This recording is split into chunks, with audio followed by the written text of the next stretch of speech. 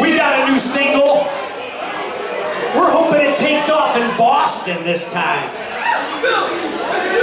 Philly, New York, New York, the Mecca, the Mecca. I don't know how it happened, people, but I want to thank all of you that voted for 80s Bush on 97 Rock from Baltimore. I hope you do it again when Sleazy Dirty Rock and Roll comes up. We're going to play the title track, the newest single off our EP that is available for sale during the intermission for $10. It is also available on all your streaming sites, Apple Music, Spotify, Pandora, Tidal, Amazon Music, and that other one that I can never remember. All available there. Type in 80s Bush. Don't be doing that shit on Google unless you're into that. The drummer.